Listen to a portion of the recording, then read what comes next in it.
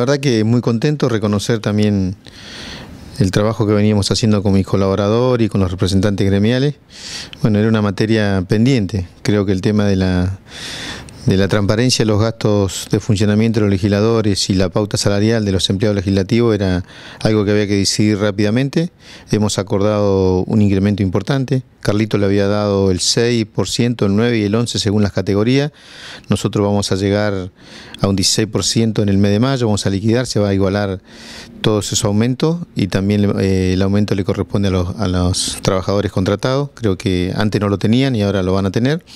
En julio vamos a aumentar el 5% y en octubre eh, el 3%. Así que la verdad que la suma da un 24%, estamos en la media nacional y bueno, creo que al margen de la satisfacción de haber acordado este aumento, me parece que el hecho de no discutir hasta el año que viene la pauta salarial me parece que es muy importante porque eso nos da tranquilidad, le va a dar previsibilidad económica a los empleados y también me quita una responsabilidad durante todo el año de discutir nuevamente la pauta salarial.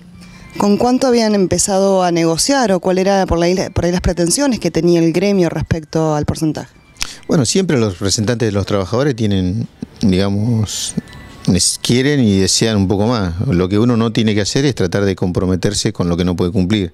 Me parece que con esta pauta salarial eh, estamos, digamos, de alguna manera certificando de que podemos cumplir este aumento. Yo lo hablé ayer con el ministro de Economía a la mañana temprano.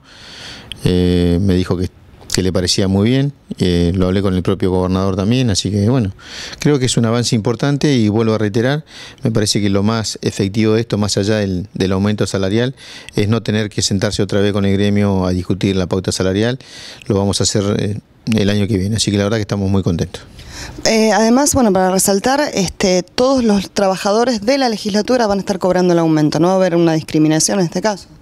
Bueno, todos, absolutamente todos, me parece que es una medida que fundamentalmente como justicialista la tenemos que tomar y bueno, nos pone contento también de que podamos a través de la legislatura abonarle los sueldos absolutamente a todos los empleados, todos tienen el mismo derecho, están en las mismas condiciones, así que estamos satisfechos y bueno, ahora hay que trabajar.